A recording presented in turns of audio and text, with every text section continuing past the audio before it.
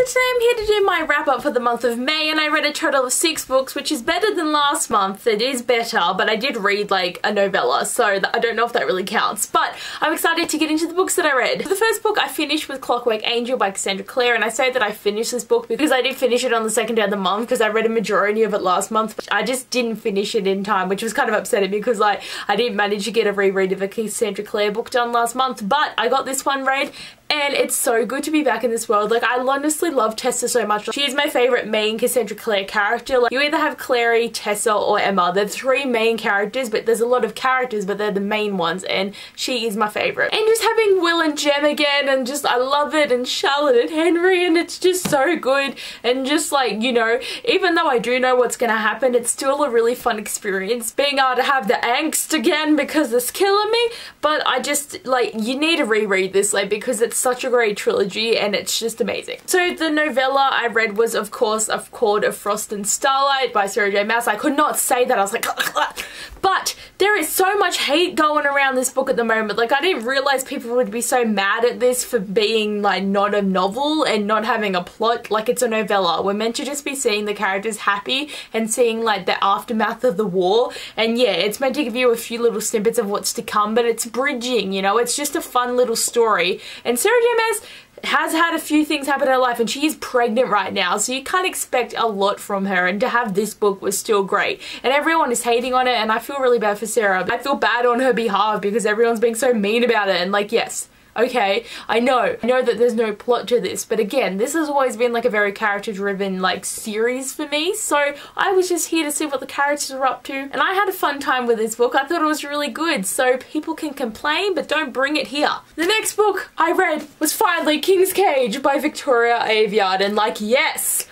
Oh my god a long time coming but I needed at least a year after Glass Sword because mate you know how I feel about that book, but I am so glad that I have finally read this book. And I have War Storm here to read, and that book is bigger than my whole entire existence, so I don't even know how I'm gonna get through it. But at least I read this one, so I'm at least closer to getting to War Storm. Like, if I still had King's Cage to read before I bought War Storm, I would have been like, holy shit. But I am happy. It was better. It was definitely a step up from Glass Sword. Like, not, not as good as Red Queen. Like, I don't think it's ever gonna get back to the level of Red Queen, but it was a step up and that made it a bit easier to read. And, you know, I don't want to talk too much about it because it's like a third book in a series, but like, I don't know if I'd recommend the series or not, but you know, I'm just happy I read it. I read Always and Forever by Lara Jean, and yes, I finished a series. I've only read like three, and it's nearly halfway through the year. I don't know how my goals are going to be going right now because I think I've failed at every single thing in my goals video. So hopefully in the next seven months, maybe we'll make a comeback, but I don't know.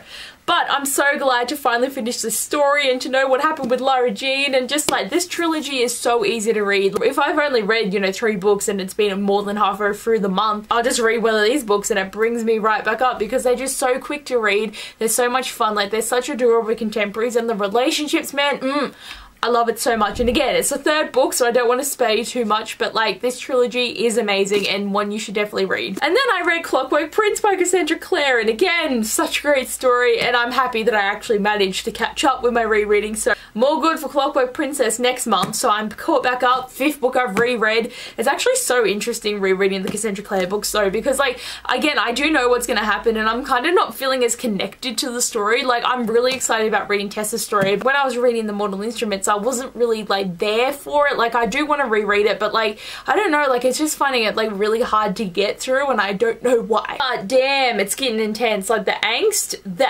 angst of this book is killing me. Like everyone knows what happens in this book with the main characters, like the main love triangle. It's all happening, but it's so amazing and I just really enjoyed it. Okay, so the last book I read this month I'm kind of scared to show because there's a lot of controversy going around this book and I just want to let you guys know that I in no way support this author for what they have done and for things surrounding them. But I read 13 Reasons Why by Jay Asher and I feel like people are going to hate me for this. I know the allegations that were against this author and I know all the bad stuff and it's just like how problematic problematic this book is. Like, I know it all. I do. Recently, I've been wanting to watch the TV show. It's a very, like, touchy subject because, like, there's so much work put into the TV show that don't revolve around Jay Asher. Like, there's so much people that put so much effort into the show and it's one I have wanted to watch. But then everything came out and I got really scared and I did have this sitting on my shelf and I wanted to read it. But, like, it's just trying to disconnect from what the author has been accused of and what they've done and just you know, like just having that kind of thing and like for the fact that they wrote about someone who got sexually assaulted and then they it's just it's horrible but I felt that I needed to read the book before I watched the TV show and I know some people might not agree with that but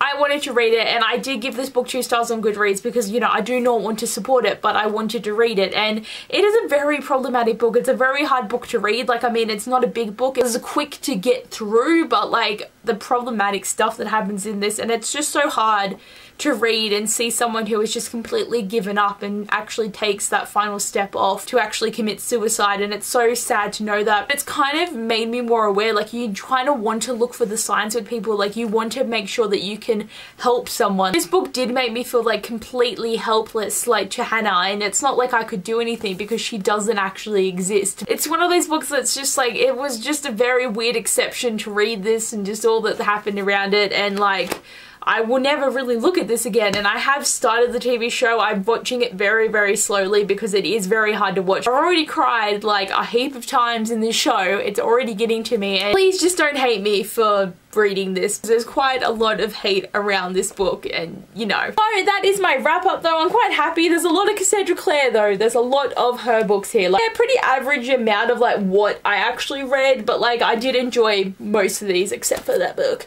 But I did enjoy all of these. I don't even know if there's a point to showing this but I bought 18 books and I only read 6. You know, you saw the unboxing. You know how bad this was.